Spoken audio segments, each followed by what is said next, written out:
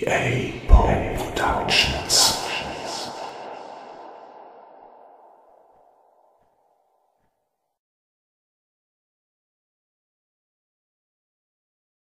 Die gläserne Burg. Eine Geschichte von EA Poe Productions. Kapitel 20 Der Alchemist. Als das Schulmeisterlein in die Schankstube trat, herrschte dort geschäftiges Treiben. Wie jeden Tag saßen einige der Bauern an dem großen runden Tisch in der Mitte des Raumes, und um die kleineren Tische an den Wänden der Schankstube herum saßen die Knechte und Tagelöhner wie gewöhnlich. Etwas mehr los war dennoch, denn kein Tisch war mehr frei. Schon wollte das Schulmeisterlein sich umwenden, um später zurückzukehren, als einer der Bauern ihn mit kerniger Stimme ansprach und zu einem Umtrunk am Tisch der Bauern einlud. Nehmt doch Platz, Herr Schulmeister, sprach jener und setzte mit einem schelmischen Lachen hinzu. Natürlich nur, wenn ihr mit uns einfachen Bauernvolk Vorlieb nehmen wollt. Die Runde begann ausgiebig, aber freundlich zu lachen, und der gelehrte Mann nahm Platz. Es dauerte nur einen kurzen Augenblick, da stand auch schon der Wirt hinter ihm und stellte einen Humpen frisch gezapften Bieres auf den Tisch vor ihm. Nun, Herr Schulmeister, eröffnete der Bauer, welcher ihn eingeladen hatte, nun das Gespräch. Habt ihr euch inzwischen gut eingelebt in unserem kleinen Dorf? Sehr gut, danke schön, die Herren, antwortete das Schulmeisterlein der Dinge harrend, die da kommen sollten. Und schon zweimal beim Schulrat gewesen, wie man hört? fragte ein zweiter. Das ist richtig, antwortete das Schulmeisterlein, ein wenig verwundert darüber, wie gut die Dörfler über ihn Bescheid zu wissen schienen und was sie über seine Unternehmungen wussten. Werdet ihr mit dem Brauen von Zaubertränken fortfahren, wie euer geschätzter Vorgänger? fragte der Dritte. Dazu müsste ich erst einmal wissen, was der werte Herr Schulmeister, Gott hab ihn selig, zusammengebraut hat, meine Herren, beantwortete das Schulmeisterlein höflich auch diese Frage. Da wird die schöne Gretel schon Sorge dafür tragen, warf der Erste wieder in die Runde ein, die hernach mit einem gemeinschaftlichen Blick in Richtung der geschlossenen Küchentüre herzhaft dachte. Das Gespräch blieb, obschon die am Tisch sitzenden Bauern allerlei Dinge zu wissen schienen, dennoch oberflächlich, und es machte den Eindruck, als seien sie wirklich nur daran interessiert, die Abendstunden in ein angenehmes Gespräch vertieft dahinziehen zu lassen. Was immer der Schulmeister aus dem fernen Heidelberg auch Geheimnisvolles zu tun beabsichtigte und was sich die Dörfler womöglich davon erhoffen mochten, blieb in dieser Runde unbesprochen. Zwei Stunden unterhielt man sich über den harten Winter, der nun zu Ende gegangen war und einige Schäden hinterlassen hatte, und stellte Prognosen an über die zu erwartende Ernte in diesem Jahr. Alte Bauernregeln machten die Runde, und immer wieder erklang fröhliches Gelächter, das anzeigte, dass der Schulmeister in die Gemeinschaft der Dörfler aufgenommen worden war. Schließlich erhob sich der erste der Bauern geräuschvoll vom Tisch, legte die Hand an die verschlissene Mütze auf seinem Kopf und verabschiedete sich. Es wird Zeit für mich, nach Hause zu gehen, tönte er mit rauer Stimme. Nicht, dass die ehrenwerte Frau Gattin mit dem Nudelholz wartet, setzte der zweite hinzu, und die Runde lachte erneut schallend auf. Auch die beiden anderen erhoben sich nun, verabschiedeten sich ehrerbietig, und wenig später saß das Schulmeisterlein alleine an dem großen runden Tisch der Bauern. Während der vergangenen zwei Stunden hatte er dem Geschehen in der Schankstube keine weitere Aufmerksamkeit mehr geschenkt und stellte nun erstaunt fest, dass auch die anderen Tische sich geleert hatten. Er war alleine in der Schankstube, und nur der Wirt, der zwischen Küche und Theke hin und her eilte, unterbrach zuweilen die vorherrschende Stille. Das Schulmeisterlein zog endlich das Büchlein heraus, das er unter den Laborutensilien seiner Vorgänger gefunden hatte, und blätterte unentschlossen darin herum. Wie schon die Liste aus dem Folianten des Schulrates enthielt auch das Büchlein eine Vielzahl von Aufstellungen mit allerlei Zutaten. Trinkt ihr noch ein Bier, Herr Lehrer? hörte er plötzlich die liebliche Stimme der schönen Gretel hinter sich und erblickte in ihr hübsches, wenn auch etwas blasses Gesichtchen. Sehr gerne, erwiderte er lächelnd. Hurtig eilte das Mädchen hinter die Theke, ihrem gelehrten Freund ein Glas Bier zapfend, und wenige Augenblicke später stand der Humpen mit einer netten Schaumkrone darauf vor ihm. Ganz hinten in eurem Büchlein werdet ihr einige Ergebnisse finden, die euer Vorgänger zu Papier gebracht hatte, sagte sie unvermittelt und fuhr fort. Ich habe es nie so recht verstanden, um was genau es dem Herrn Schulmeister Zelig ging.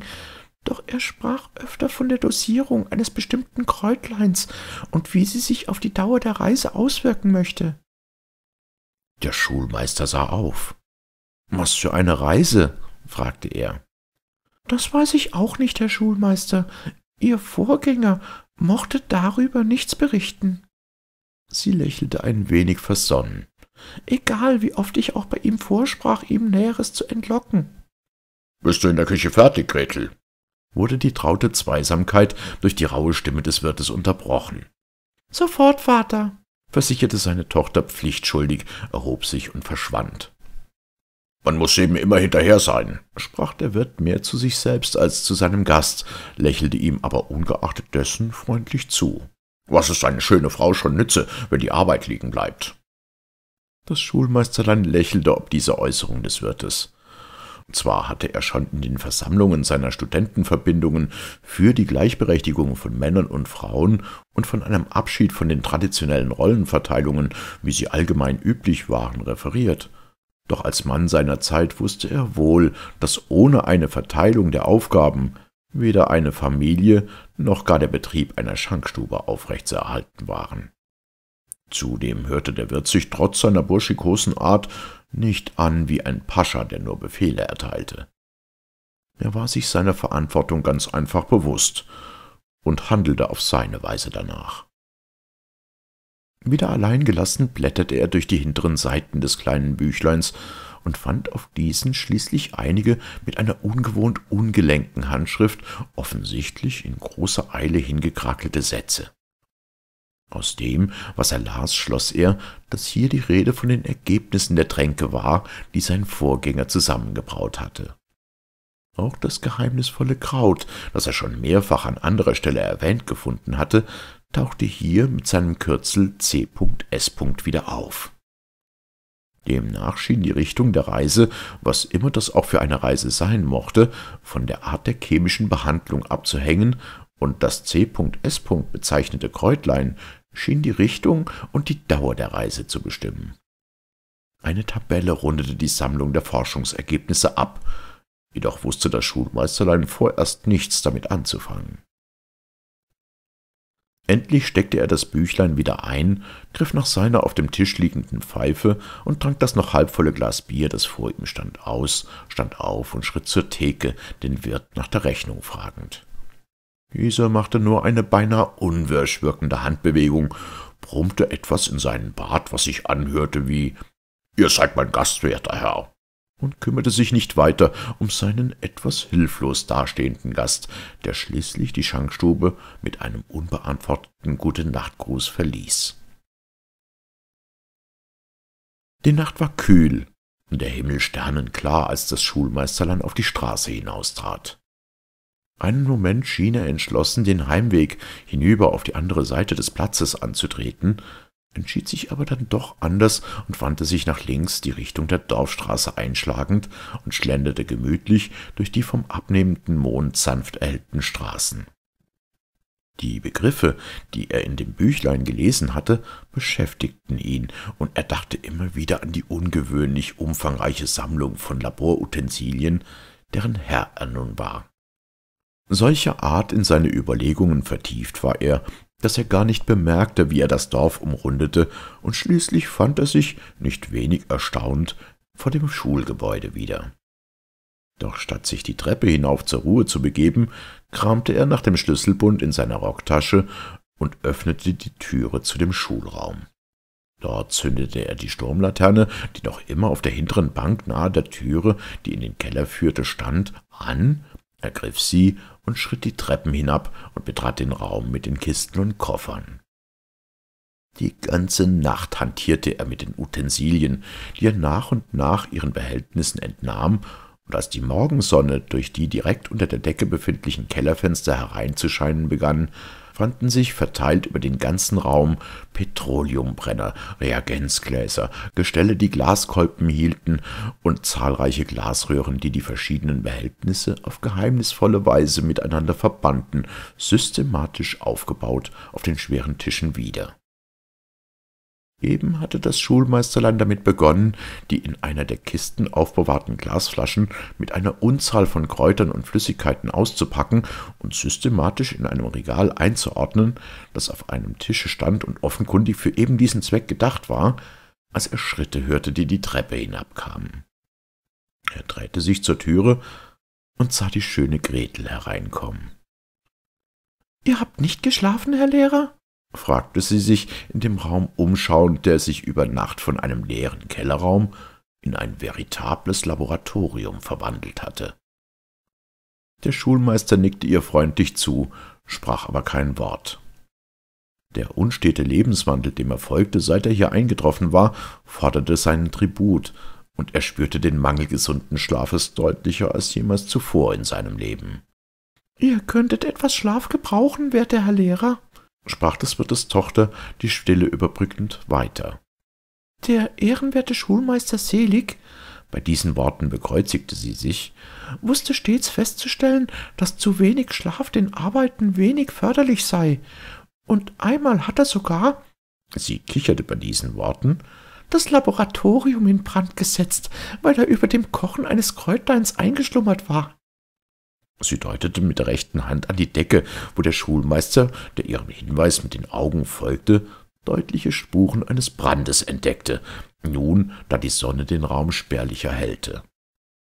Er beschloss, dem Rat der schönen Gretel zu folgen und ließ ab von seinen Vorbereitungen, deren Zweck er zu diesem Zeitpunkt kaum zu erraten vermochte. Seine Gedanken waren wirr, und es schien in der Tat das Beste zu sein, ein wenig zu ruhen und neue Kräfte zu sammeln. Sie haben vollkommen recht, Fräulein Gretel, sprach er nun. Es wird Zeit, ein wenig Ruhe zu finden, bevor ich fortfahre. Er bot ihr den Arm, und sie verließen gemeinsam den geschäftigen Kellerraum und stiegen die Treppe hinauf. Ich werde euch zum Mittagsmahle wecken, wenn ihr erlaubt, werter Herr Lehrer, sprach sie. Das Schulmeisterlein nickte, lächelte ihr dankbar zu, öffnete die Türe, die zu seiner kleinen Wohnung hinaufführte, und wollte gerade die Stiegen hinaufsteigen, als er spürte, wie das Wirtstöchterlein ihn am Rockzipfel zupfte.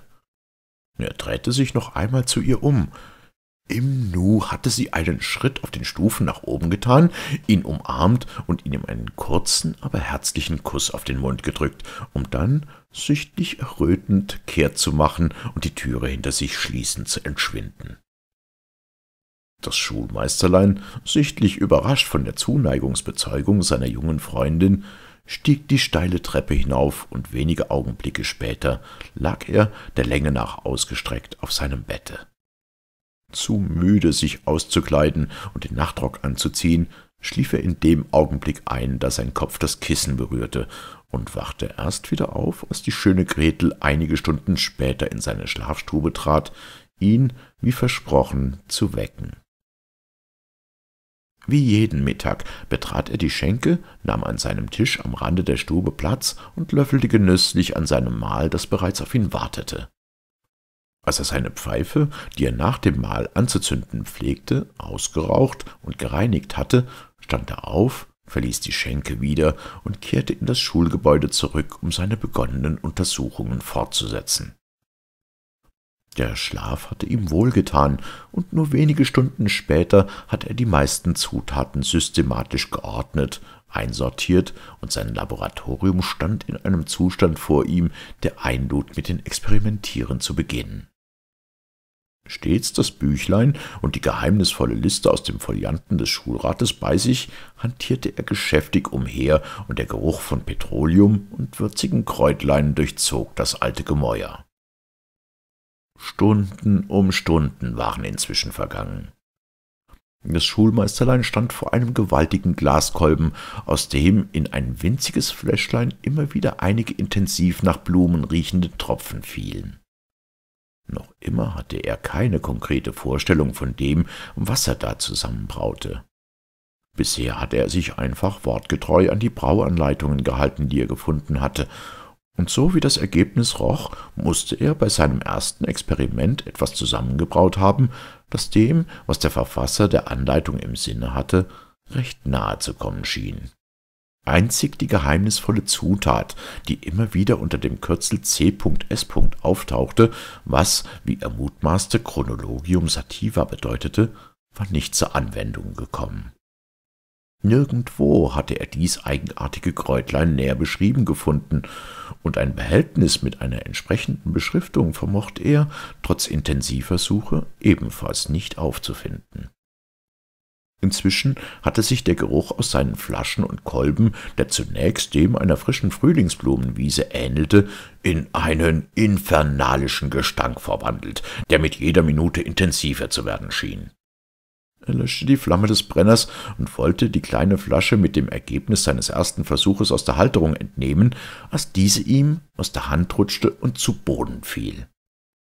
Doch das Glas zersprang nicht einfach mit dem zu erwartenden Klirren zerberstenden Glases, sondern explodierte mit einem ohrenbetäubenden Schlag, der das Gebäude erzittern und den Staub von der Decke herabrieseln ließ. Der Raum füllte sich mit einem weißen Rauch, und der Schulmeister musste den Raum verlassen. Im selben Augenblick hörte er einige Schritte die Treppe herunterkommen. Ist euch etwas passiert? Hörte er die ihm wohlbekannte Stimme der schönen Gretel fragen, und als er nicht antwortete, packte sie ihn unerwartet kraftvoll bei den Schultern, drehte ihn zu sich um, ihn gründlich musternd. Dem Himmel sei Dank, rief sie aus, ihr seid wohl auf. Sie strahlte ihn glücklich an und warf dann einen Blick in das Laboratorium, in dem sich Qualmwolken bis zum Boden hinab verteilt hatten. Sie zog ein Taschentuch aus ihrer Schürze, hielt es sich vor Mund und Nase und schritt sicheren Schrittes durch den Raum, die Fenster zu öffnen. Im Nu zog der Qualm zu den geöffneten Fenstern hinaus, und der Blick klärte sich ein wenig. Der infernalische Gestank jedoch wollte nicht mit ihm weichen. Kommt mit, Herr Lehrer, forderte sie den Schulmeister auf, mitzukommen und führte ihn die Treppe hinauf. Ein wenig frische Luft kann nicht schaden, und der Geruch eures ersten Versuches wird eine Weile brauchen, bis er verflogen ist. Es dauerte eine Stunde, bis der Gestank so weit verflogen war, dass er sich wieder die Kellerstiegen hinabbegeben konnte, ohne einen heftigen Würgereiz zu verspüren.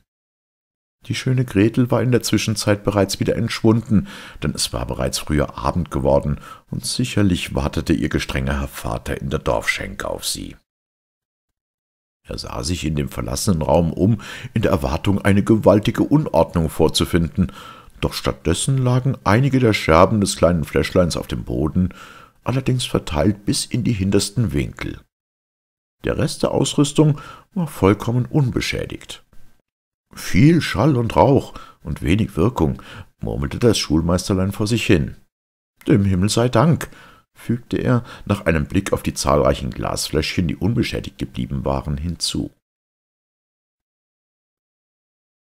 Es blieb dies nicht der letzte Versuch seiner Art, und nachdem er fortan mehr Umsicht walten ließ, seine Brauergebnisse zu sichern, verursachte er auch keine weiteren explosiven Überraschungen mehr. Doch stiegen in den folgenden Tagen immer wieder dichte und übelriechende Wolken aus den eilig geöffneten Kellerfenstern auf.